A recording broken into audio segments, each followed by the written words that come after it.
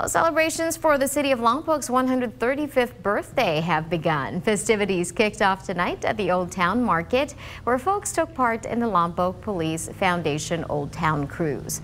Dozens of old and new cars, including a classic police car from Morro Bay, were cruising along Ocean Street. I just think you know it's a it's a time to celebrate a, a great city with great people and, and these kind of events that are put on by the community. So uh, it's it's an awesome time to just celebrate Lompoc.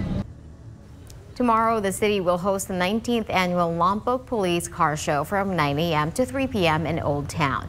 And finally, on Sunday, there will be a special event at 11 a.m. That's at Centennial Square Park.